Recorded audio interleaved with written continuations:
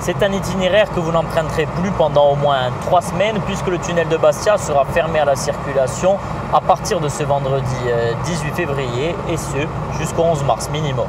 Si vous devez vous déplacer avec votre propre voiture, deux possibilités s'offrent à vous. Il y aura un axe prioritaire. Il passera par le boulevard euh, Gaudin ici pour continuer sur le boulevard euh, Paoli et il est destiné uniquement aux véhicules qui souhaitent se rendre en ville.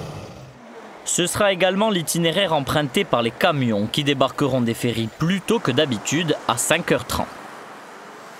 D'autres rues passeront à sens unique, à l'image de celle du col, uniquement empruntée à descendre pour aller vers le vieux port. Vous pourrez également circuler par cet axe secondaire. Il s'agit de la route au-dessus de Bastia, celle de Saint-Antoine. C'est un itinéraire qui est conseillé pour les déplacements nord-sud et sud-nord sans passer par la ville.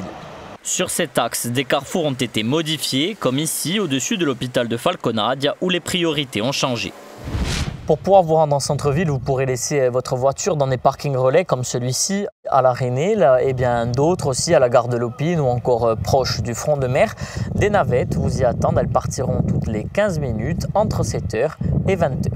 Mais il est surtout conseillé de privilégier des moyens de transport alternatifs. Train, trottinette, bus ou encore opter pour le covoiturage.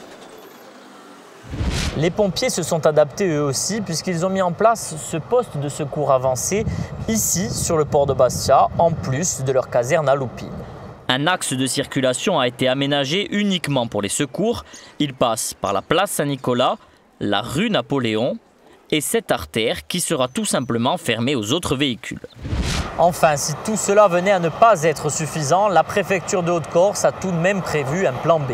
En clair, une circulation alternée en fonction du numéro de plaque de votre voiture, une situation extrême que tout le monde aimerait éviter.